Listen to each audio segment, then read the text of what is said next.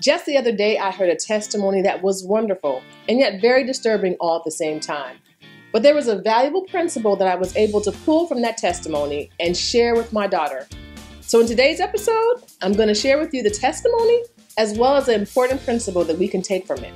So, stay tuned.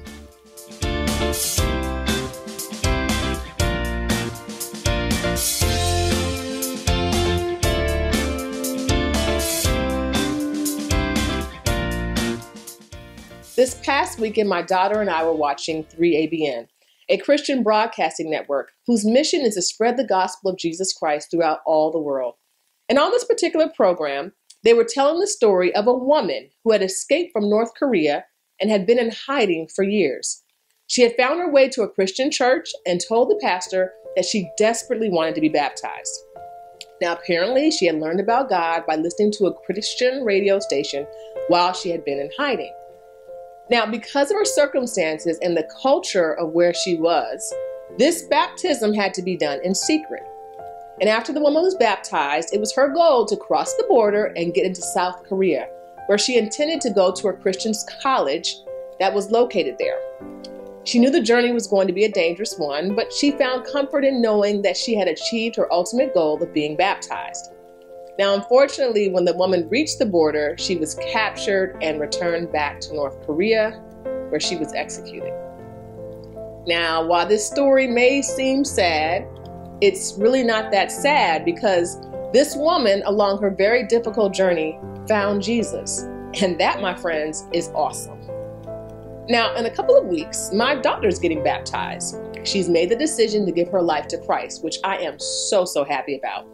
But after we watched this lady's story, I had to take a few moments and explain to Savannah a valuable principle that we must always remember. I said to her, Do you understand what that woman had to go through? What she had to go through to learn about Jesus and to get baptized? She had to do it through a time of trouble. And right now, we aren't experiencing a time of trouble. You're able to learn about Jesus without hiding or being scared for your life you're able to get baptized and have all your friends and family come to celebrate with you because we aren't experiencing a time of trouble like the lady was. So we can never take the opportunities that we have in peaceful times for granted. And actually, I'm saying the same thing to you. Don't take for granted the peaceful times.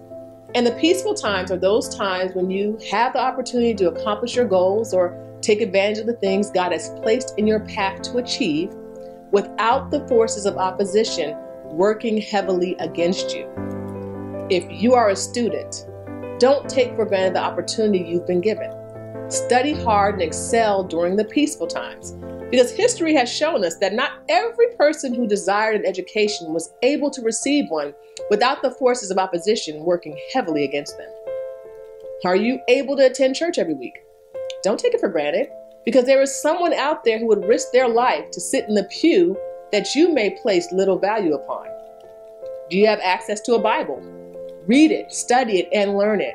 Because history has also shown us and continues to show us that there are people who have and are currently facing the severe forces of opposition that are working to keep the Word of God out of their hands. Yet many have and will continue to risk it all just to get their hands on a Bible just like the ones that sit in many of our homes, just collecting dust. The point I'm trying to make today is that you must take advantage of every opportunity the Lord places in your path. Take nothing for granted because life is funny. One day you can be experiencing total peace, and the next you could find yourself in a time of trouble. So take advantage of the peaceful times God has blessed you with. Let me say a quick prayer for you right now. Dear Father, please be with us all. Help us never to take for granted the times of peace that you have given us, God. Help us to take advantage of your word and every opportunity you place before our path. We love you, Father. Amen. Well, that's all I have for you this week. I hope it blessed you. And of course, as always, remember that you are extra, uh-oh, extraordinary through Christ. And remember to like, share, and subscribe. And for those of you who are interested in some faith gear, my husband and I have started a new line of Christian faith inspired clothing. So if you want to get a t shirt like this or some other ones, check the link below and you can check out our shop.